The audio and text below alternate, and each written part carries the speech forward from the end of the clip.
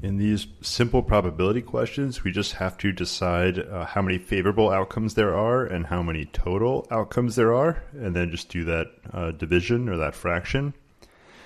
This question, we have uh, people running red lights, uh, either responding yes or no in the last year. Now, yes is 156 and no is 149.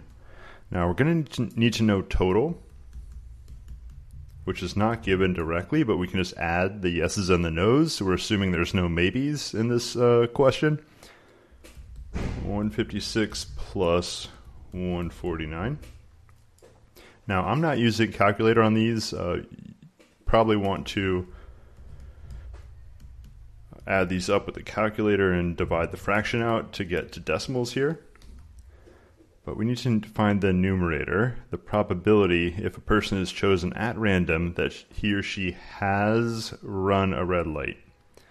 So I believe that would be a yes. So if we chose a random person, what's the probability that they'd be a yes, which is 156, divided by the total?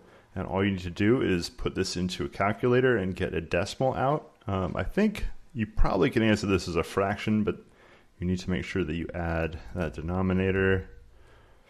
Ooh. 305 maybe. So that should be the answer. Yeah, I think that's right. 156 out of 305. Um, turn that into a fraction, a decimal, and that will go right here.